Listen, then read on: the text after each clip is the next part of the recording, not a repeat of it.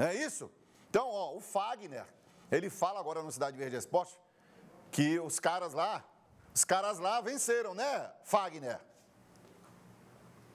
Fala Everton, quem tá falando aqui é o Fagner, atleta do Fluminense. É, primeiro jogo já passou, o jogo da ida contra o, o Flamengo aqui dentro da casa dos caras. É, a gente sabia da dificuldade que seria o jogo contra os caras aqui dentro, mas no fotogar, no fotodeterminação é, do nosso grupo, sabendo da nossa qualidade, é, vamos levar a responsabilidade nossa para dentro de casa e contamos com a torcida do Piauí é, e se Deus quiser vamos sair com essa classificação de lá. É isso aí, Fagner. E o Breno? O Breno é craque de bola, meio atacante dos bons, atuando pelo Vaqueiro Belchior. Promete o que no domingo, hein, Breno? Vamos conferir. Olá, Ebert. Aqui quem fala é o Breno, falar aqui sobre um pouco sobre o jogo.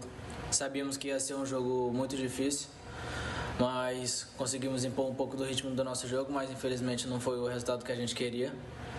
Mas é isso aí, trabalhar um pouco mais forte a semana para chegar no domingo, se Deus quiser, fazer um bom resultado e mais uma vez fazer história para o nosso futebol piauiense. Valeu, Breno, Breno da Vila Jerusalém, bem representado aí, viu?